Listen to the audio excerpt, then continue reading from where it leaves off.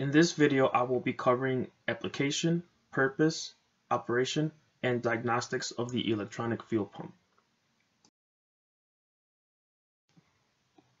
A fuel pump is used in fuel-injected engines as well as in diesel engines. Its purpose is to provide pressurized fuel from the fuel tank all the way to the fuel rail at various pressures depending on driving conditions.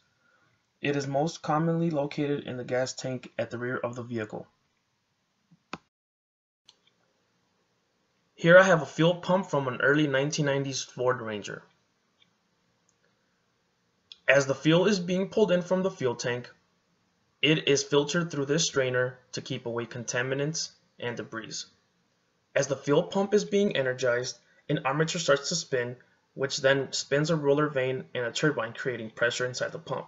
The pump's mechanisms include pressure relief valve to ensure that the system is not overpressurized, and a check valve to maintain pressure for long periods of time.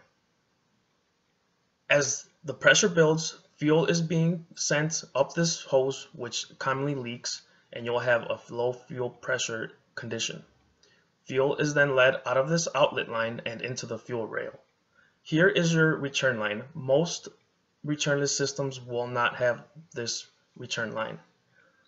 On the other side over here, we have the fuel sending unit, which consists of this wiper arm and a floater that read across a variable resistor.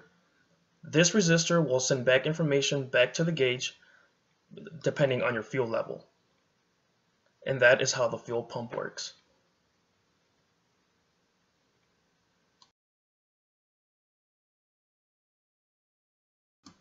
Fuel pump failures include lack of lubrication and cooling to the fuel pump, Driving the car on an empty tank all the time will result in premature fuel pump failure.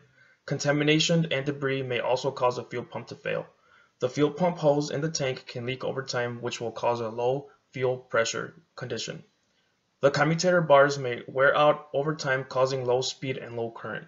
Symptoms may include a very loud whining, prolonged cranking, and poor acceleration or no start condition. Here is a 2004 GMC Envoy. Now if you take out the, the fuel cap, you could actually listen to the fuel pump energize. Now if you don't hear that fuel pump energize, then you might have a problem. First off, start off by checking your fuse or your fuel pump relay and make sure you have power going to the fuel pump. On this 2004 GMC Envoy, I looked up the specifications for the fuel pressure and it is between 50 to 57 psi. Now I hooked up this pressure fuel gauge already and as you could tell the PSI is well over that and is about 60 to 63 PSI. This might be an indication of a faulty pressure relief valve. This is how you check fuel pressure with a fuel pressure gauge. Here's one way to check your sending unit for proper operation using a multimeter. Here, this floater and this arm right across is a variable resistor which interprets fuel level. It then sends that information back to your fuel gauge. I have hooked up one of my leads to my signal and one to ground. Now let's take a look at the multimeter. When testing this, this component, make sure that you're on the ohm setting to check for resistance. As the floater goes down, the resistance value will also go down, and vice versa.